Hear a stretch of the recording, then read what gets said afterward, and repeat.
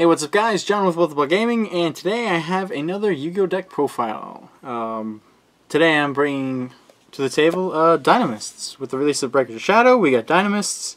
I started playing Dinomists like a couple months before Breakers of Shadow, got really, really excited about them, and this is what I've done with them. So to start off, we have three of the Dinomist Pteran. Uh, Dinomist Pteran is your search power. When he destroys a, an opponent's monster by battle, you can search out a Dinomist card from your deck excuse me. Um, that's any Dinomist card. You can do the Dinomist Charge, you can do the Dinomist Rush, which is your spell and trap, or you can do another Dinomist monster.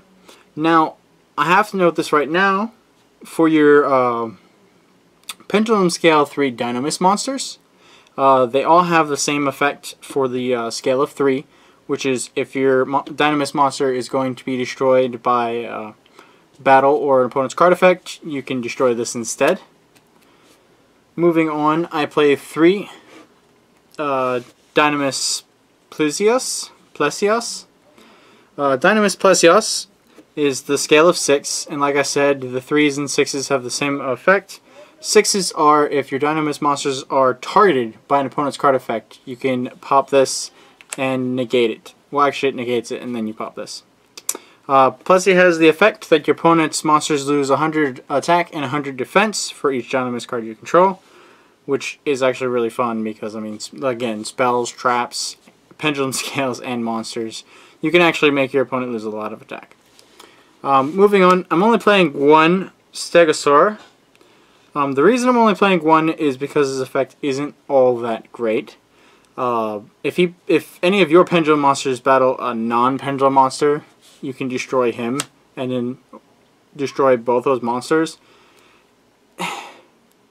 He's not really that great, but he does have some use. So, and those are all the level 4s. I'm only playing like the 1 and then the 3 of each. Uh, moving on to the 5s, you have Dinomist Rex. Uh, Dinomist Rex is really, really cool because when he's in battle, if he declares an attack, you can tribute off a, uh, actually, if he destroys a monster by battle, I believe, you can tribute another Dinomist monster, and then he gains an effect. Uh, one of them is he gains 100 attack and you declare uh, extra attack at this turn. And then the other one is you can send a random card, shuffle a random card from your opponent's hand back into the deck. So he's really versatile. He's really, really good. Uh, moving on, I'm playing two, uh, Dinomist Brachion. I don't really like Dinomist Brachion, and a lot of people actually really like him. He's kind of got a Cyber Dragon effect. If your opponent controls a monster with the highest attack on the field, then you can special summon him. Um, that happens, but doesn't happen a lot. It's it's really really situational, so I only run him at two. And then moving on, we play three uh, Dinomist Ceratops, which is uh, again kind of like your Cyber Dragon effect. If you control a Dinomist monster, you can special summon him, which uh, kind of makes it uh, a really good card. Now, this is the thing that I've done with Dinomist that a lot of people aren't doing. A lot of people are running like uh, Dracoslayers and stuff in it. Uh, you got people running Despot 001. I wanted to do something extremely different.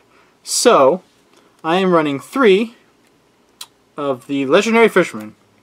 If you guys don't know what Legendary Fisherman is, if uh, Umi is on the field, Legendary Fisherman is on the field, uh, he can't be targeted or destroyed by like spell effects, and then he can't be targeted for bad targeted by battle.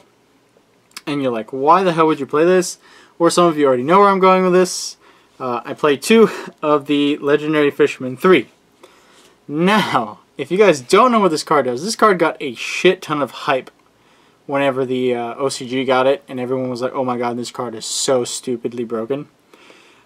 Legendary Fisherman 3 cannot be summoned unless you tribute the Legendary Fisherman, and then you special summon him.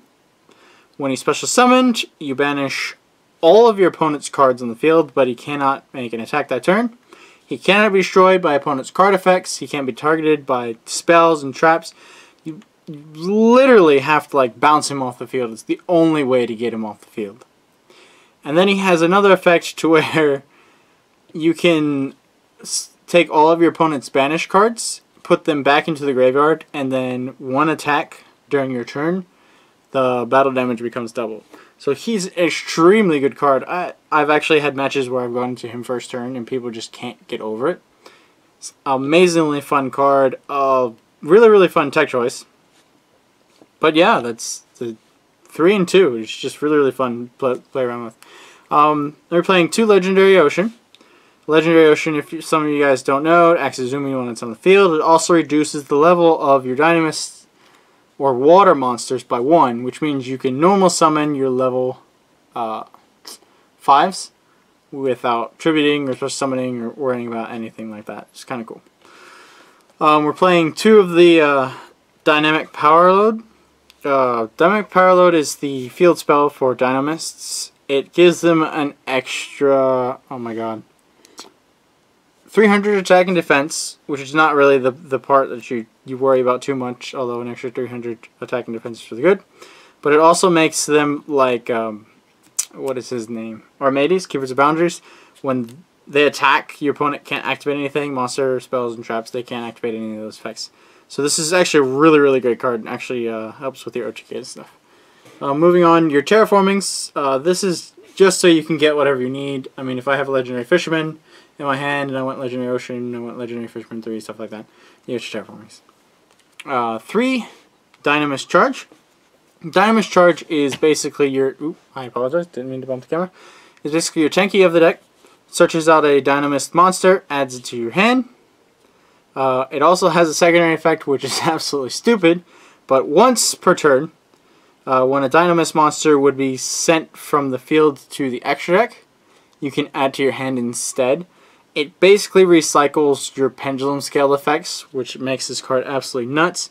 And you can also search it with Pteran, so it's it's just it's ridiculous. Uh, we're playing three Wavering Eyes, of course. You're playing the pendulums.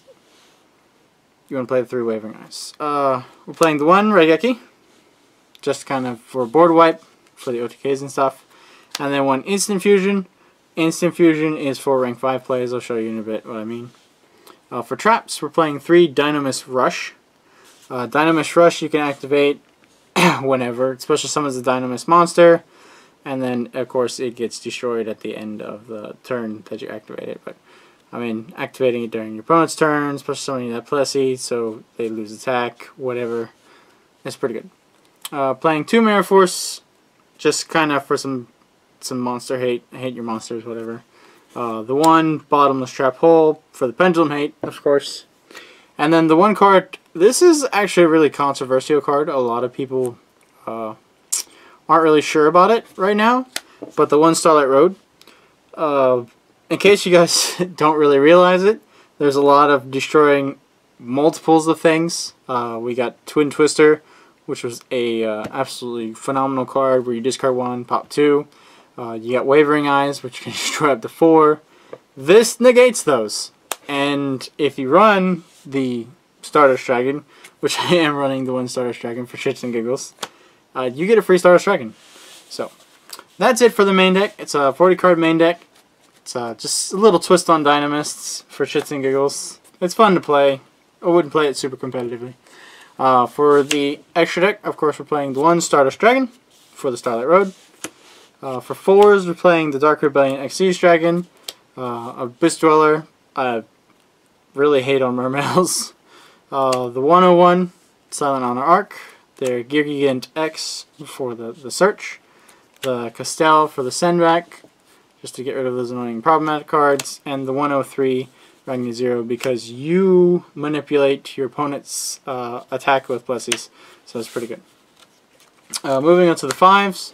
We're playing the one Wind Up Arsenal Zenmaioh and the one number 61 Volcasaurus. Uh, this for spell and trap destruction, and this for uh, just kind of get rid of stuff. Uh, the two Panzer Dragons, I don't know why I need two. I only run the one instant fusion, but Panzer Dragon is an instant fusion target to make those like uh excuse me, the level 5 plays and stuff. I really don't know why I'm running two in here. I need to replace one of these with something. Of course, then we're playing the two Cyber Dragon Novas.